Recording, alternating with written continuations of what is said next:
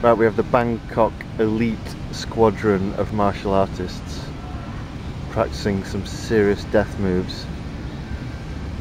Slyly spying on her is the ultra stealth, scarf ridden, fully clothed, pink sandal wearing ninja who is bearing a machete pretending to do some weeding.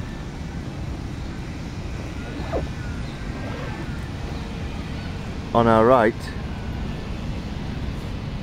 we've got Desert Storm. He's just keeping a close eye on everybody.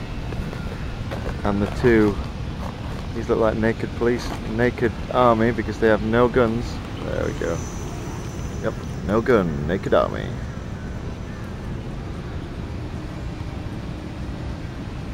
Everybody coexisting in a nice happy little manner and a Burke on a bike.